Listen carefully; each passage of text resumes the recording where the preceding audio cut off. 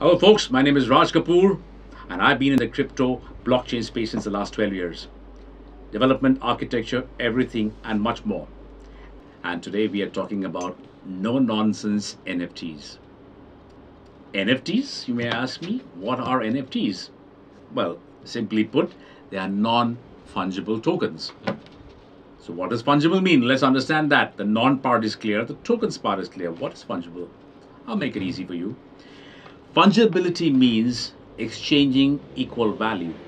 An example if I lend you 500 rupees, you can give it back to me as 500 rupee notes, one 500 rupee note, or 50 rupee notes, 20, 50 rupee notes, anything which is equivalent in value. If I buy a Bitcoin for say $30,000, that's how much I'm spending in Indian rupees. So that's equal money, that's fungibility. Non fungibility or non fungible means not having equivalent value. And that can be for collectibles, could be stamps. For example, if you have a stamp which has a value of 10 cents, but in the market the value is say $100, that's non fungible because it's not the stamp that you're paying for, it's the perceived value that you are paying for. That is fungibility, perception of what you can value.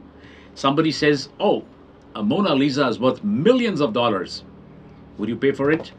Some people say, why the hell should I pay millions of dollars for a Mona Lisa? I'll go to the railway station and buy a poster from there for a hundred rupees. That's your perception.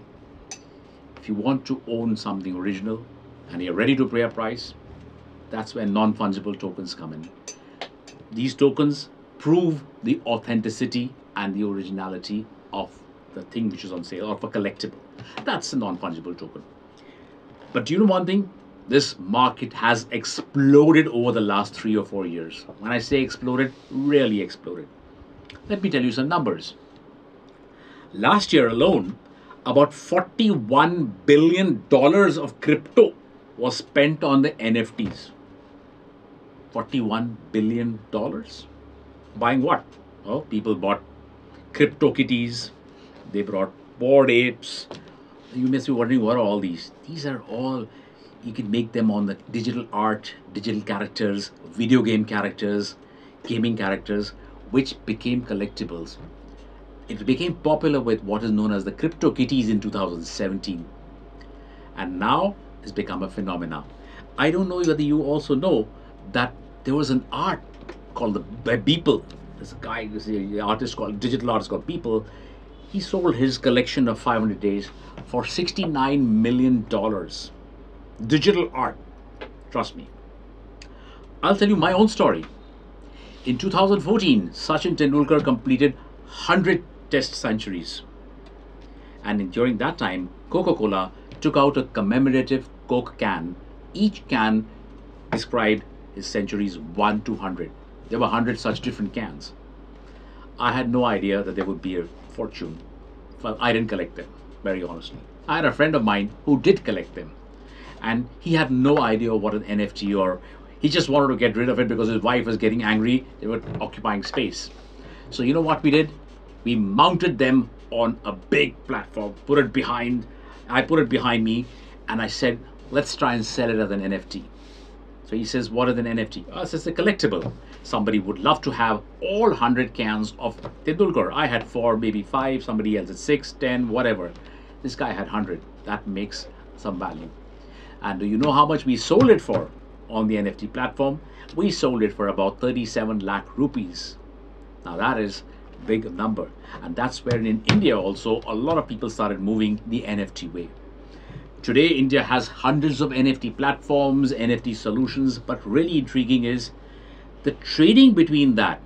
You see, anything becomes valuable when they start moving trading. 700% plus between the last two quarters of 21. This year, there was a little drop because the crypto markets have dropped, but then that's again a blip. CryptoPunks is another big NFT which has been really moving around. 20 biggest NFT sales have been on CryptoPunks. Go and have a look at CryptoPunks. You and I probably may not collect them, but they have some value for someone. They have. The you know, basically the largest platform is a platform called the OpenSea, where you can create your NFTs, upload them out there, open to the world. 250,000 people trade on OpenSea. It's like the Amazon of collectibles. Like this, there are many more, and we'll discover all of them NFTs, etc. You also know that in India and outside, more than 23%, more than 23% actually have NFTs. That's a lot of people, and most of them are millennials. So, when we talk about NFTs, we talk about what they bring to us. They bring a new phenomena, and that's all on the blockchain. Because on blockchain, you can prove the provenance or the ownership of that particular collectible. And that's why they've become popular. Everything else is a copy. The value of the original comes to the forefront with NFTs. So we'll talk about that. I'll also talk about a little bit about how NFTs work. How do we mint NFTs? What are the gas fees associated with it? What are the platforms that we use we can make it on? That we must know. When we talk about NFTs, we also talk about the numbers, and as I always say, numbers mean opportunity. We'll talk about use cases of NFT. We'll talk about the different challenges and the roadblocks which are there because there is no rules and regulations around it right now. There's so many challenges as well. We'll talk about some very innovative use cases. Like, for example, when Webster Dictionary came out with the description of the word NFT, they made an NFT of that and sold it in the open market. Jack Dorsey, the founder of Twitter, sold his first tweet also as an NFT. That's a collectible. It'll never happen again. So, these and much more. We will also talk about how NFTs are now being used by corporate enterprise. Not just for collectibles, there are many more use cases of how we'll be using them in the corporate level. We'll talk about them. We'll talk about the future of NFTs, where they're going from there. Is it going to be just another gimmick or just another hype? Is the bubble going to burst? Well, this and many more answers in the no nonsense NFTs. Thank you. This is Raj signing off for now. I'll see you once again. Thanks.